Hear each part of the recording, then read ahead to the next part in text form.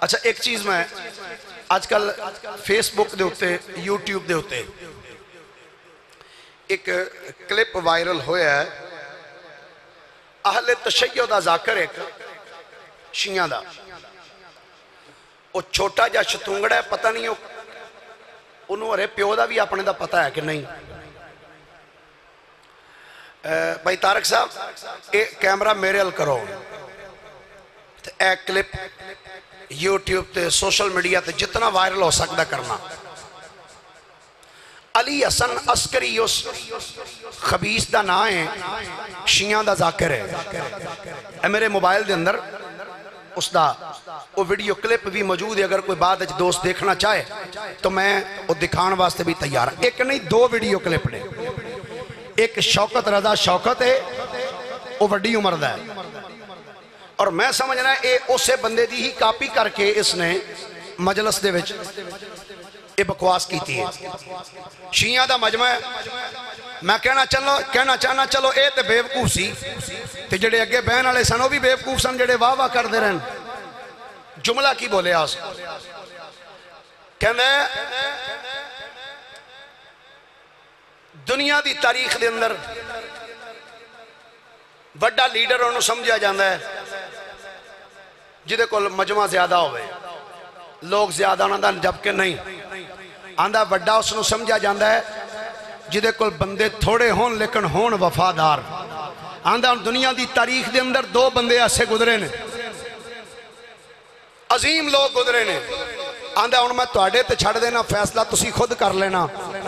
کہ بڑا لیڈر کیڑا ہے؟ آندہ ایک لیڈر دا نام محمد مصطفیٰ ہے، صلی اللہ علیہ وآلہ وسلم۔ اور دوسرے لیڈر دا نام امام حسین ہے۔ آندہ فیصلہ توڑے تے کرنا۔ میں بیکھنا تسی کتنا کچھ سمجھ کے میں نو سن دے ہو۔ کہندہ ہے، دن دا اجالہ ہے۔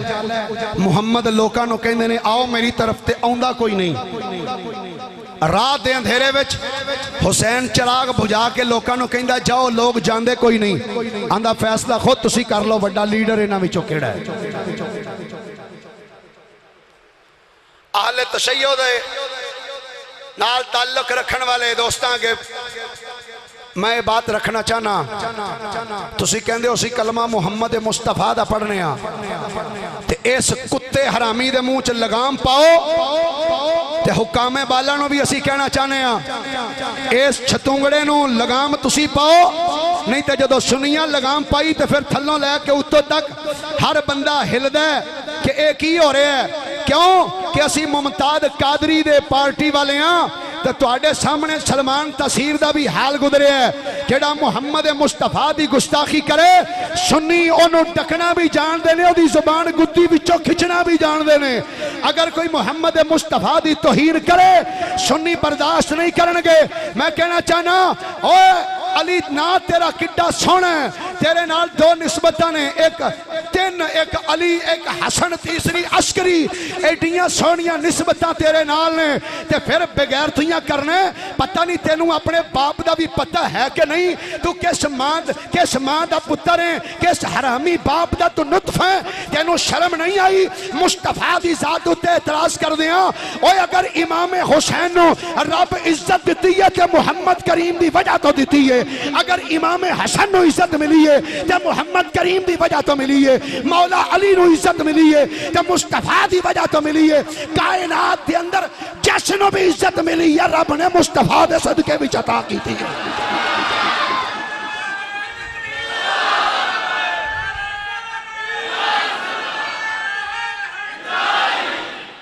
لہذا شیعہ کمیونٹی اگے گزارش کریں گا۔ کہ اپنے ایسے بہودہ قسم دے تے پاگل تے چبل تے بغیرت قسم دے ذاکرانو خود سنبھالو۔ جب سنیاں سنبھالیا تے پھر تو انو شکوہ ہوئے گا کہ سنی ہمارے بارے میں ایسی باتیں کرتے ہیں۔ سانو اپنیاں جانا عزیز نہیں، سانو محمد مصطفیٰ دی عزت عزیز ہے۔ اسی مصطفیٰ کریم دے غلامہ اسی سب کچھ برداشت کر سکنے ہیں پر آکنے اپنے آقا دی توہین برداشت نہیں کر سکتے خواہ کوئی بھی ہوئے، اسی جنو مننے ہیں، مصطفیٰ دی وجہ تو مننے ہیں۔ جس نے بھی منے آج تک، محمد کریم دی وجہ تو منے ہیں۔ اس واسطے اپنے ایسے چھتونگڑے حرام دی پیداوار میں تو کہاں گا؟ کیوں؟ قرآن کہندا ہے فرمایا محبوب، اتلم بعد ذالک زنیم محبوب جڑا تیرا گستاخ ہے نا، وہ ہے ہی حرام دا ہے۔ قرآن ہے، فرمایا اتلم بعد ذالک زنیم محبوب، جڑا تیری گستاخی کرے، حلال دا نطفہ نہیں ہو سکدا، حرام دا ہے۔ میں تے پی ناصر عباس صاحب ایک جملہ کہنا چاہنا۔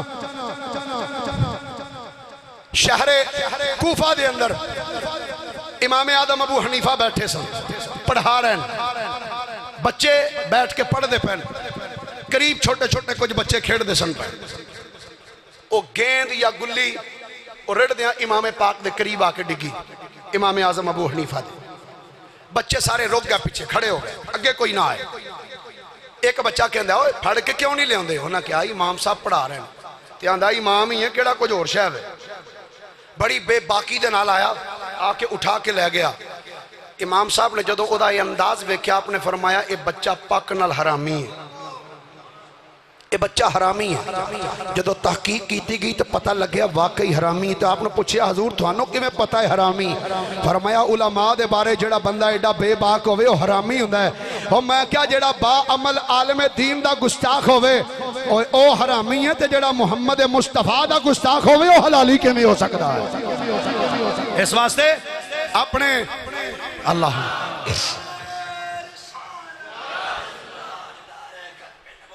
زندہ دو جزاک اللہ جہاب صاحب، جزاک اللہ۔ اس واسطے اپنے نہ چھتونگڑے نو خود لگام پاؤ، ورنہ پھر ساڑھے تے تو انہوں اعتراض ہوئے گا، سنی، ہمارے بارے میں یہ کہتے ہیں، ہم امن پسند لوگ ہیں۔ امن چاہتے ہیں، لیکن جب حضور کی عزت، عظمت نموس کی بات آئے تو ہمیں سب سے زیادہ عزیز محمد مصطفیٰ کی عزت ہوتی ہے۔